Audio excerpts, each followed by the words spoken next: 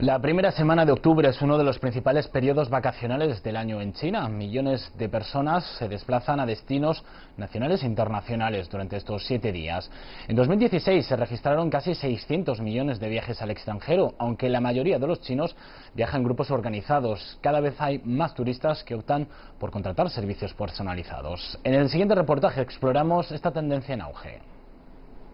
710 millones este es el número de viajes que tendrán lugar en China durante esta Semana Dorada, que este año incluye las fiestas del Día Nacional y el Festival del Medio Otoño. Hay tres tipos de viajeros. El que no tiene ni idea de a dónde quiere ir o qué quiere hacer, el que tiene una vaga idea del destino regional o al menos alguna preferencia, y el que tiene las ideas muy claras y pide directamente lo que desea. Los viajes personalizados no son solo para personas con dinero. Nosotros intentamos preparar planes para todos los clientes. Este viaje tiene todo lo que debe tener un viaje personalizado al Polo Sur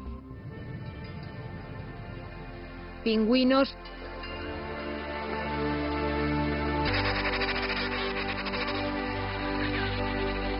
túneles de hielo, icebergs,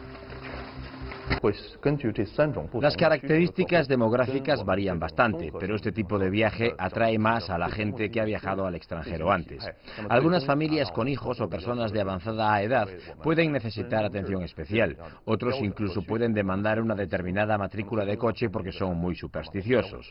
Lo bueno de viajar así es que se puede solicitar casi cualquier cosa. Nosotros tratamos de satisfacer al cliente con la extensa red de recursos que hemos ido acumulando a través de otros servicios.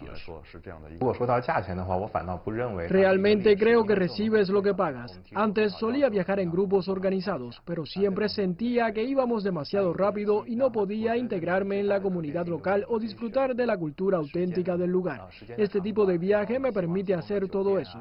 La última vez que viajé de esta manera a Francia con mis amigos, tuve una buena experiencia, así que continuaré con este tipo de viaje. En un viaje a la Antártida no se puede escatimar en nada. El servicio incluso proporciona artículos de viaje y buena ropa de abrigo. Me gusta mucho esta forma de viajar. Puedo acceder a una gran variedad de recursos, adaptándome igualmente a la duración de mis vacaciones, pero durmiendo y comiendo según mis preferencias. En más de 700 millones de viajes que hacen los turistas chinos esta semana, los destinos, la duración y los intereses varían mucho. Yang asegura que actualmente se puede organizar cualquier actividad legal que resulte atractiva para los turistas, desde conducir un tanque en Rusia y avistar aves en Argentina, hasta esquiar en Canadá o lanzarse en paracaídas en Tailandia.